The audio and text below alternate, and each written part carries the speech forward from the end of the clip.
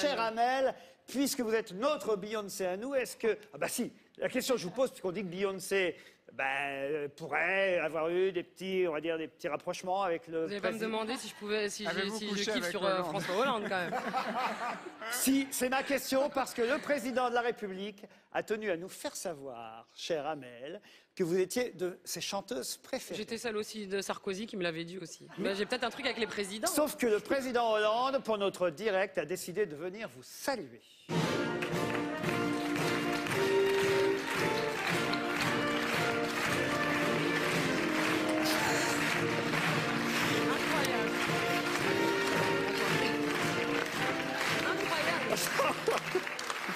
Non mais quel sosie, mais j'y ai cru pendant, pendant, pendant 4 secondes, j'ai vraiment cru que c'était lui.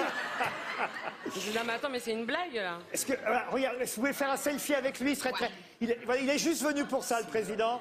Voilà. Et voilà Merci. On vous remercie, bravo, merci Monsieur le Président. C'est très aimable.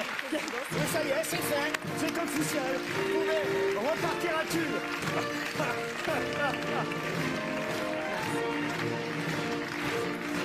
Merci beaucoup. Vous avez votre photo à la une de Closer maintenant, ça y est.